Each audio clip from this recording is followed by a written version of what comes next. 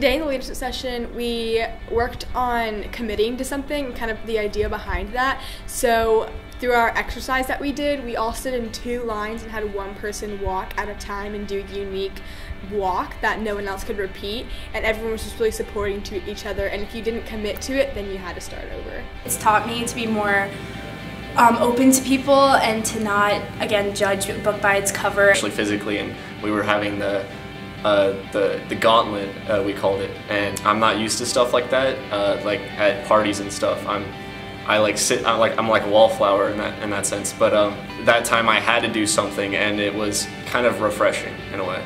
Yeah. So I feel that NSLC has changed how like I think. I really like the way Robert was talking about the different uh, shifts that you can do in like personality and how you talk to people.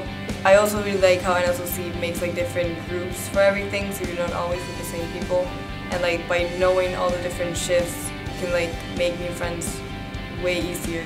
Again, we don't really know each other, so it's really easy to judge one another. And I think he did that so that we would he would make us all feel like we're equal and that there's nothing to judge and that it's a zone where we should be ourselves and we should get the most out of the program rather than feeling like we have to hold back and kind of be afraid to be ourselves and to be a little sillier to do things that we normally wouldn't do so we could grow more.